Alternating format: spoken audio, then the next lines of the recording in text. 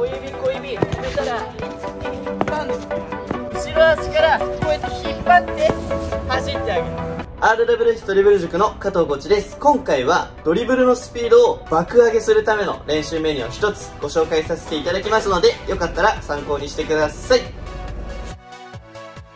今からやる練習は、えー、用意ドンっていう練習やります。はい用意ドン。つまりめちゃくちゃ全力で走りますでやり方はまず、えーマーカーからスタートして右利きの子は自分の右側のスペースに小指小指。止めたら123 OK 今何回目でスピード上げた？そう。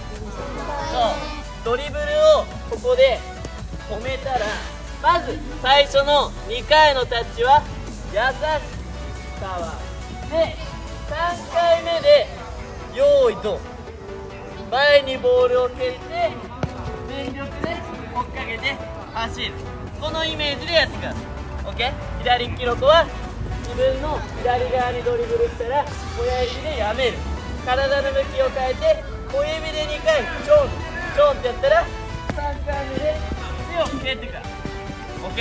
でこの練習で、えー大事なポイントが1つあって何かっていうとボールを蹴るとき。ね小指でトントンって触ったときにここから超大事ボールを触らない何足そう軸足をボールよりもここ大事だボールよりも前に持ってきてからボールを後ろ足から前に。引っ張るイメージわかる？走るときってさこのまま後ろ足が前に出るよね。そうボールを蹴るっていうよりかは後ろ足からこうやって引っ張って走ってあげる。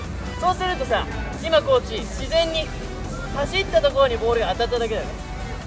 ボール蹴るドリブルするときにさこうやって蹴ろうとして走る？